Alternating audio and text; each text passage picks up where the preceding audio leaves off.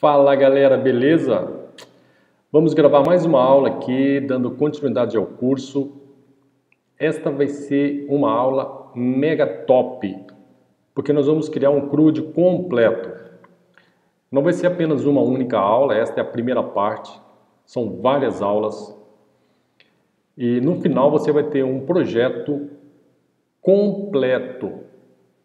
Nós vamos criar aqui, a partir daquele cadastro de cliente da aula passada, nós vamos implementar um CRUD, onde você vai fazer o quê? Né? Você vai incluir registros, na verdade são objetos, você vai incluir objetos, vai alterar objetos, vai listar objetos, vai deletar objetos da sua aplicação. Ok? Isso aí é conhecido como CRUD. Para quem trabalha com banco de dados ou quem trabalha com desenvolvimento, sabe né, é, que esse termo CRUD é muito comum. Geralmente, quando você vai fazer um teste uma empresa, é, o cara te dá uma tela e pede para você implementar o CRUD. O que, que vem a ser essa implementação do CRUD? Criar lá né, um formulário para incluir registro, deletar registro, listar registro, alterar registro. Na maioria das vezes é um grid. Você tem um gridzinho lá, né? Aí o grid vai ter todas as funcionalidades. Tá certo? Então olha aqui, olha. O que, que significa CRUD? Create é o insert do SQL. Insert into table, etc, etc. Read é o select. Select from table, select asterisco from table, etc, etc. Update é o update na tabela mesmo e o delete, deleta os registros. Tá? Uh, a nossa arquitetura aqui, nessa primeira parte, tá? no começo das aulas, das próximas aulas, nós vamos implementar o MVC, ok? Do jeito que vocês estão acostumados aí é, com, com o padrão de projeto MVC. Só que é o seguinte, depois que vocês implementarem né, o MVC, nós vamos criar as camadas de persistência. Para quê? Para gravar no banco de dados os registros. Primeiro nós vamos trabalhar tudo na memória do celular, né, da aplicação. Depois nós vamos criar mais algumas camadas que vão ser o seguinte, camada Data Model, que é o modelo de dados, camada DAO, Data Access Object, que vai permitir que você mande dados para o banco de dados e você recupere dados do banco de dados, né? Entendeu? Vai estar numa camada bem mais baixo nível, assim, podemos dizer. E a Data Search, que é a fonte de dados, que no caso vai ser o banco de dados é, SQLite. Ok? Na sequência, depois que esse projeto estiver pronto, nós vamos uh, integrar ele com o Web Service, ok? E aí com o Web Service nós vamos mandar os registros para o banco de dados na web, ok? Muita gente está esperando isso aí e agora está chegando a hora, né, galera? O curso deu uma pequena pausa, né, mas é por motivo de trabalho mesmo, só que agora a gente volta com gás, ok? Então olha aqui, para vocês terem uma ideia do que, que vai ter na nossa view. Na view nós vamos ter uma tela splash que todos já sabem fazer, uma tela login, que é um formuláriozinho lá onde vai pedir usuário e senha. Se o cara se autenticou corretamente, ele vai para a tela principal, o menu principal, que vamos chamar de dashboard aqui. O dashboard é muito mais do que o que nós vamos mostrar aqui, né? Tem gráficos, tem estatísticas, tá? Mas esse termo aqui já fica na cabeça de vocês aí. É, depois nós vamos criar uma tela para adicionar usuários adicionar, alterar usuários, listar usuários, deletar usuários. Na, na, verdade aqui vão ser clientes, né? Tá? Nós vamos adicionar, pegar aquela classe cliente, ok? E trabalhar com ela.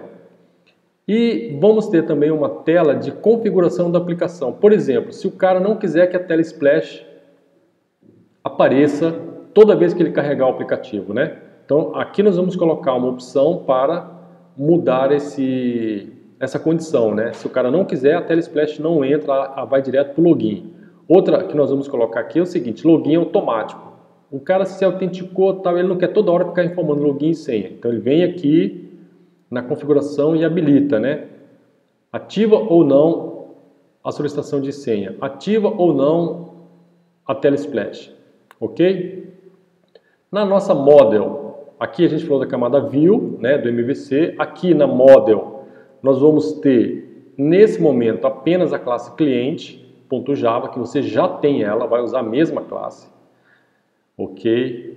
Aqui na controle, nós vamos colocar a nossa cliente controle, que também já existe.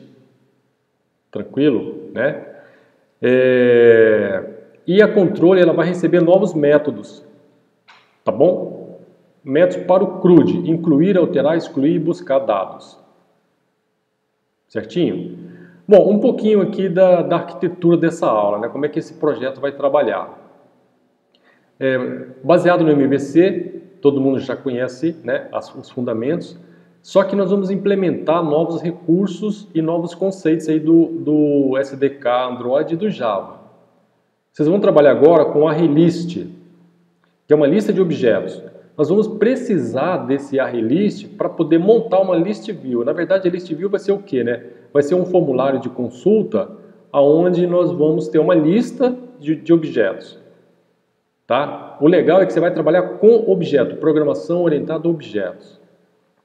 Então tem o arraylist, depois tem o list view. Primeiro tem que aprender o arraylist para depois implementar o list view. Por quê? O list view vai pedir um arraylist. Se você não souber arraylist, você não monta o list view. Tranquilo? Outra coisa importante é que esses processos aqui, na hora que a gente estiver trabalhando com banco de dados, eu tenho que tomar alguns cuidados e preparar a minha arquitetura para quê? Para garantir performance, garantir que a aplicação não vai parar, entendeu? Aí nós vamos trabalhar com algumas coisas em segundo plano. E para isso vamos precisar desse recurso, que, que é, é, é tarefas assíncronas. Certo? Vocês vão aprender agora, né? Nessa série de aulas, trabalhar com async task, onde vamos executar algumas coisas em background. Enquanto estão sendo executadas, eu posso atualizar a view, notificar o usuário, né, ó, processamento concluído, 10%, 20%, 30%, colocar uma barra de rolar, uma barra de progresso lá, entendeu? Então isso é bem legal. E por fim aqui, ó, nós vamos colocar também o conceito do Javadoc. Como documentar a sua aplicação, né? Como documentar o seu projeto. Então eu vou mostrar para vocês como é que você implementa o Javadoc, como é que você gera a documentação do seu projeto. Tá certo, galera? Então é isso aí. Essa série de aulas tem o objetivo de quê? De criar um CRUD completo. Depois que você concluir essas aulas, você já vai conseguir criar vários aplicativos interessantes aí, é, conforme sua necessidade. Tá bom? Então vamos nessa daí. Eu vou gravar agora a próxima aula para vocês, que é sobre o Arraylist, é um bônus, né? que está muito mais ligado com Java do que com Android. Tá joia? Acompanhe aí que tem muita coisa legal aqui nessa série de aulas. Um abraço, galera!